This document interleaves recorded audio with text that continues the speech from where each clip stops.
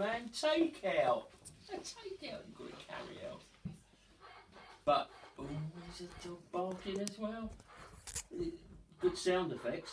But before you could say lemon cheesecake, Mel turned aside and started to ride. Nanny. Nanny. What? On the bike?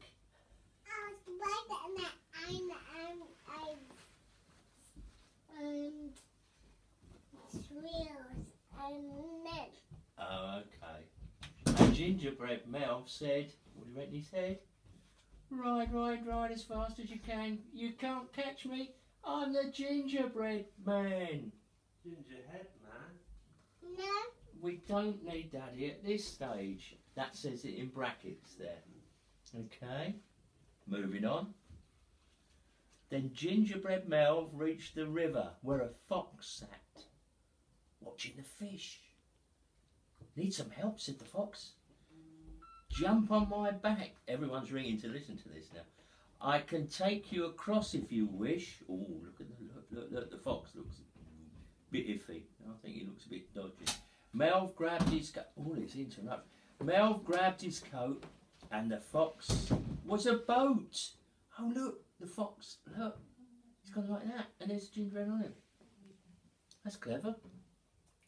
And gingerbread Melv said, "What do you reckon he said?" It's on the next page. What do you reckon he said? Okay, he said, "Swim, swim, swim as fast as you can. You can't catch. You can't catch me." Hope that came out right. I'm the gingerbread man. Look, look, there's Nanny. Lifted up her skirt and gone wading. Don't think so. Right, okay. As the water gradually rose, the fox said to Melv, "Move up further. It's best if you sit on my nose." Uh, is his nose? He's nearly there.